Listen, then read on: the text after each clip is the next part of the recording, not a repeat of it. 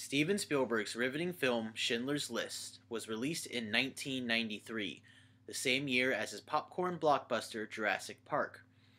Although Jurassic Park stole the box office with $914 million compared to Schindler's $321 million, Schindler's List took home seven Academy Awards, including Best Picture and Best Director.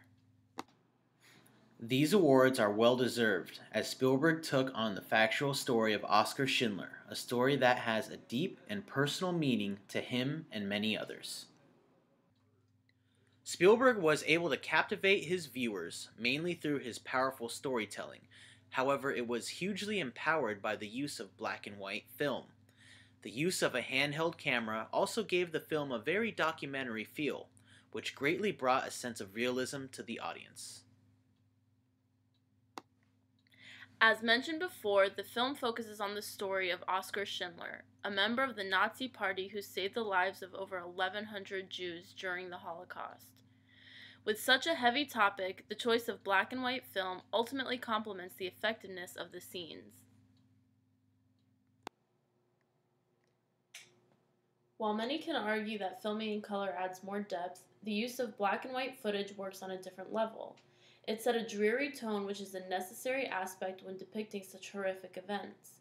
Many films use black and white to produce a more dreamlike essence. On the contrary, Schindler's List is used to create a much more realistic feel. Although the majority of the film is in black and white, Spielberg makes an effective use of color when depicting the little girl in the red dress. This selective use of color serves to make this character stand out to the audience almost foreshadowing her and future events.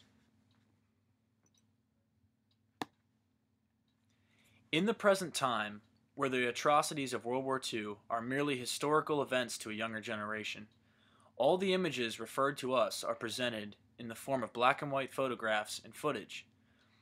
As we can only relive those events without color, Spielberg's use of black and white engraves the realism of Schindler's List, captivating a youthful audience. Another contributing factor in the overall look of the film is the use of the Steadicam. Many of the moving shots are used during scenes of peril and chaos, dragging the audience into the film and giving them a first-hand perspective.